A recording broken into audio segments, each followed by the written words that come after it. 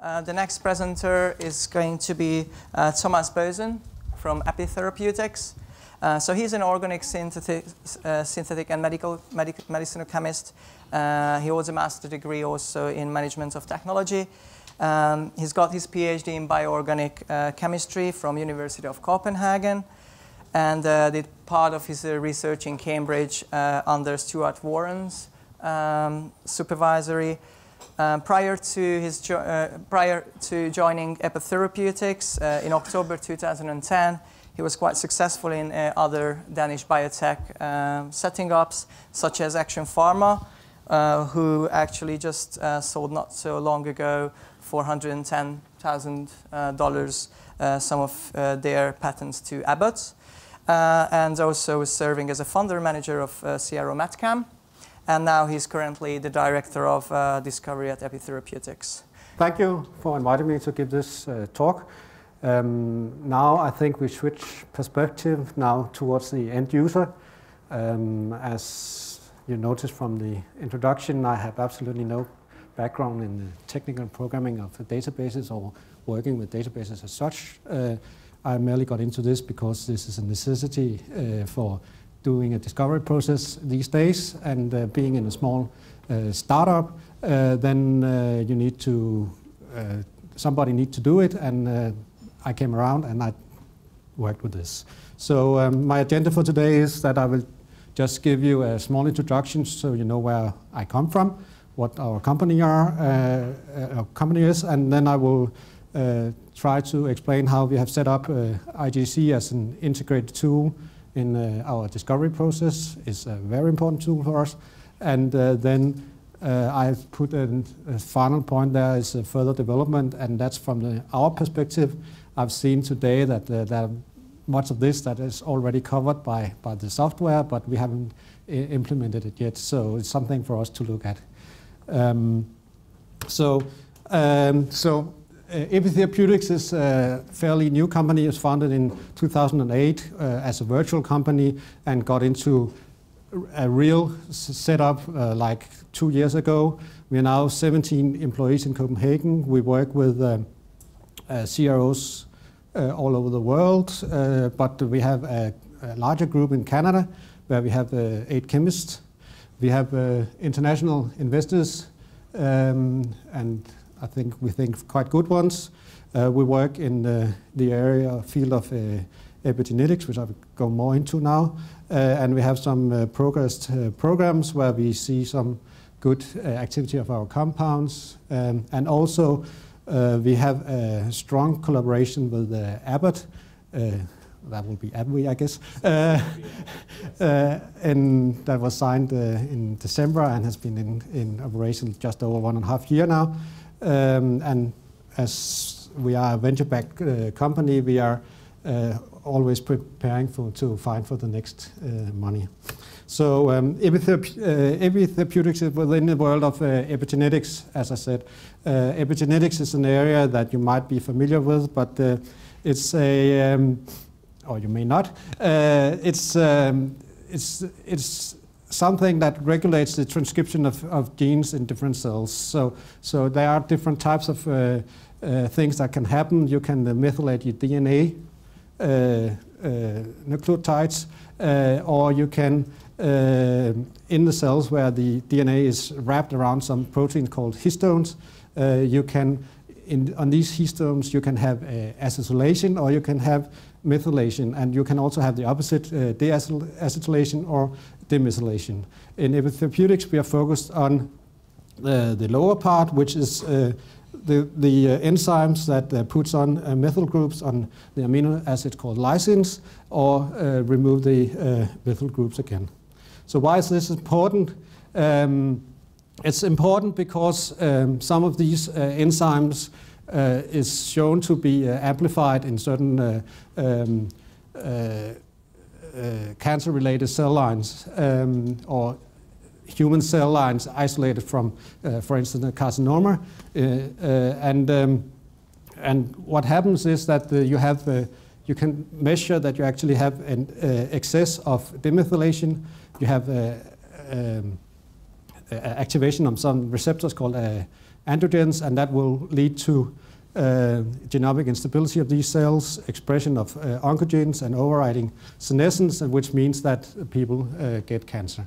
So our idea is to, to, uh, to start uh, to develop some small molecules that can inhibit these enzymes uh, and eventually be used for the treatment of cancer. so this is a novel and, and, and growing area um, that has that's more, much attention attracts much attention over the last couple of years. So uh, we have um, some uh, very early uh, discovery programs on different demethylases. We have a um, the collaboration with Abbott, which I can't say anything about, and then we have a a project on a, a, methyltransferase where we um, are collaborating with the Copenhagen University, different small uh, biotech companies in Denmark, and which is uh, uh, supported by the Danish High Technology Fund, which is High Technology Foundation. Or, um, so how do we use IJC in our discovery process? So first of all, uh, I think uh, SAR has been mentioned uh, more times today, but just want to try to define it for the for those in the audience that are not familiar with it abbreviation, uh, what we do is that we um, design compounds. Uh, that's the medicinal chemist here at the top. Um, and then we have the compounds made. Um, and, uh, and then we test it in our bio biological assays. and then we get the information back. the oh, sorry. Uh, the relation between the structure and the activity, and then we use that for designing new compounds uh, together with all other types of information we get in. But that's uh, crucial, and, and that's what we're using the database for. So how are we organized? We are, a, as you saw, a small team, so we are doing our project management and project leadership inside. Uh, uh so, and then we try to work together with um, external uh, collaborators.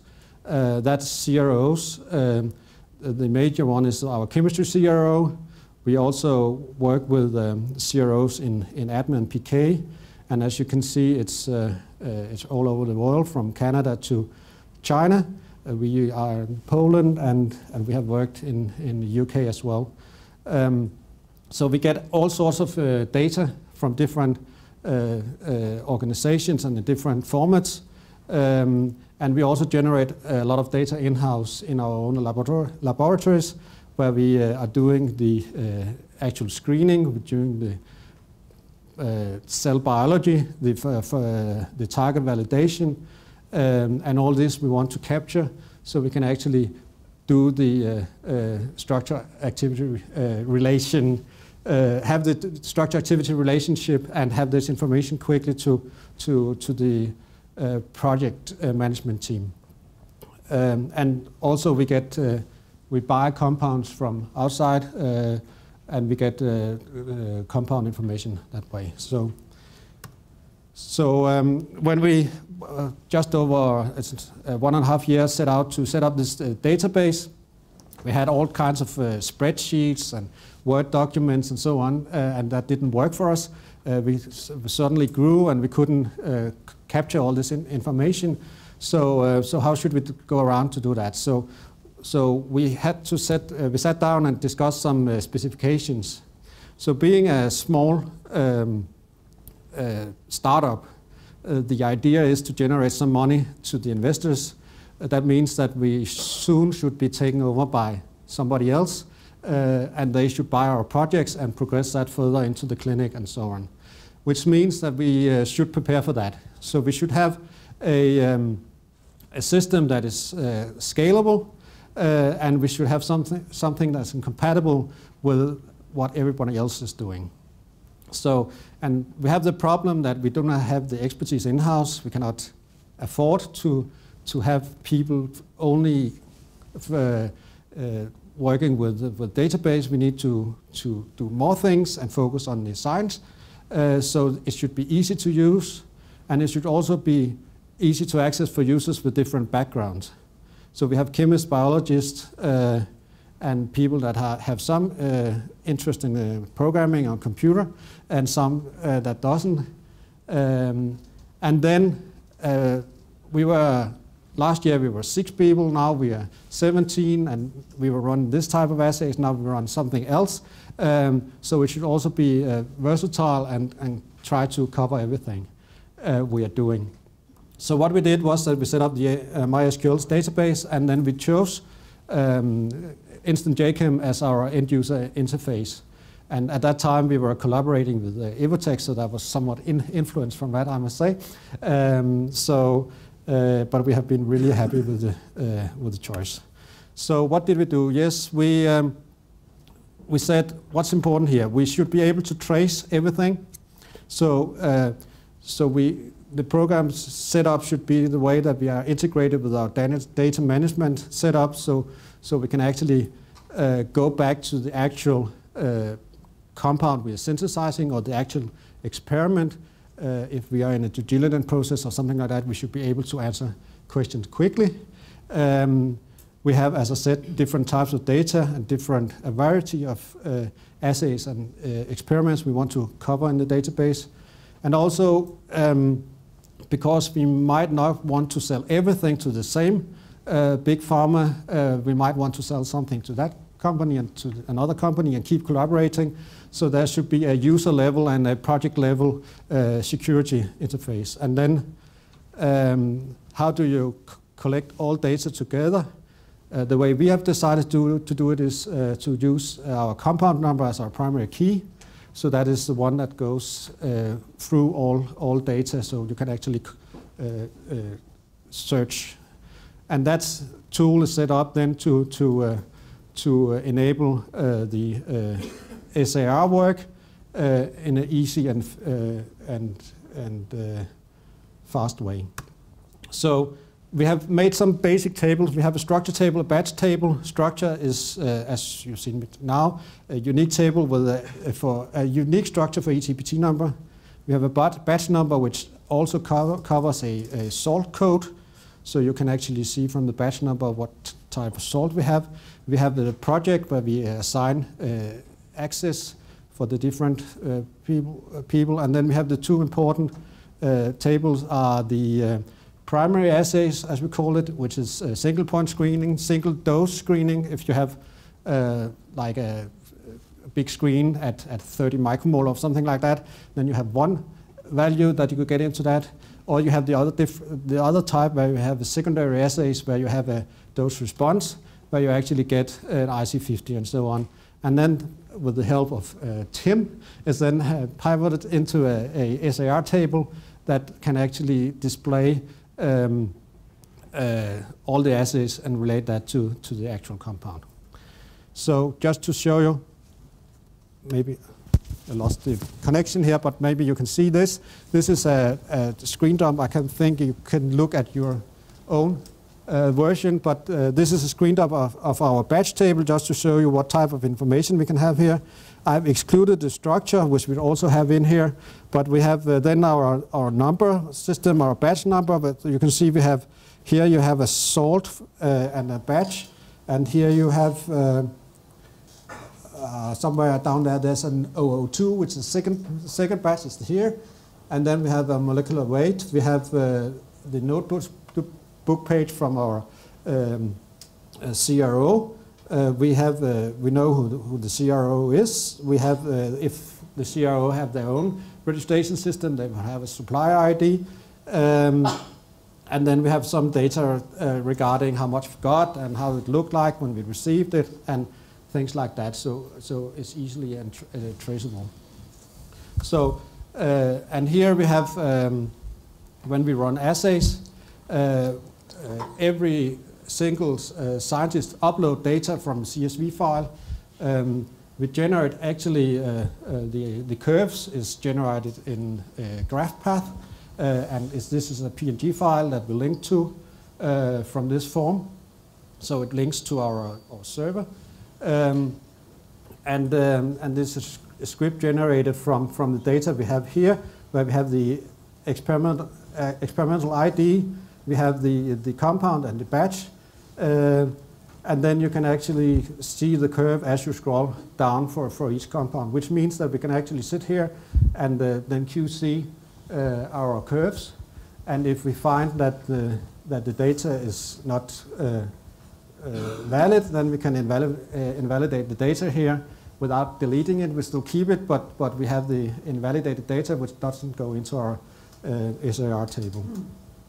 Um, and as you can see here, we're working on different targets and divided by targets and so on. Then you can actually uh, scroll down this table and see what goes on. And that, that's uploaded, uh, and then we can access it immediately uh, as, as chemists. What's also valuable is, is uh, this, uh, which is uh, our SAR table here. Again, you can see the structure. You cannot because it's been removed.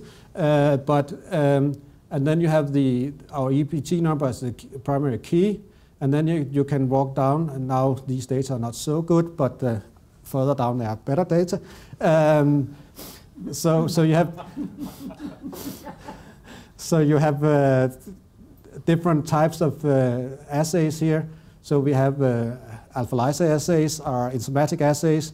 We have some um, redox assays, FRAP and resazurin assays. We have some cellular data, different types of uh, immunofluorescence and, and um, tox data in here. So, and we can just add columns to this, uh, so we can actually uh, cover all, all types of uh, assays, and we can remove what's not uh, relevant anymore, uh, so which is quite nice. So in this uh, summary table here, we have what's current and relevant for the chemists, so they can um, this this SAR table is refreshed twice a day, so so within you know hours from the result has been uploaded from uh, from the biologist, uh, our chemist in uh, USA can can look at the data, and uh, and sometimes we have uh, a very quick uh, turnaround in the way that we have. Compounds sent from Canada on Tuesday, arrived Thursday in Copenhagen, tested, uploaded on the Friday, and then they can look at the data and we can decide what to do next uh, and we can order chemicals, and sometimes it's uh, the next iteration is that they, they're shipping the following Tuesday. So that's that's quite fast, and and and it's only possible because we have uh, this tool uh, as integrated in our process. So, as I said, uh, it's easy to use for the scientists. Uh, and is easily accessed by the scientists. The problem is that on the administrator level, still, it requires um, some, uh, the way we have set it up is uh, requires some programming, and that is uh, time consuming and it's complex. It's too complex for me, so I buy uh, time at Chemaxon uh, to have this done. Um, and that means that sometimes we also see, because it's so complex, we see some problems in our performance. But I think that's something that can be overcome. Uh, but, but for us, it certainly have been almost an uh, out-of-the-box uh, program and, and usable in a small uh, organization. So what are to do next? What we would like to do, uh, because we do that all the time, we need to report to our board, we need to report to uh, external people are visiting, maybe because they want to invest, maybe they want to co collaborate and so on. So it, should, it's it would be nice if we could generate uh, graphs and, and, and have correlation in data where we can have some built-in graphs that ac actually could do the calculation for us and so on. Um, so we could present this in, in a nice way. And, um, and, and also the exporting options uh, from, from our database is something that we need to look more into. Now we are uh, copying and pasting, and that is also quite time consuming. There might be better ways to, to do that that we haven't uh, discovered yet. So um, I don't know if I have used all my time, but uh, I think that was uh, what I wanted to say. So thank you for your attention.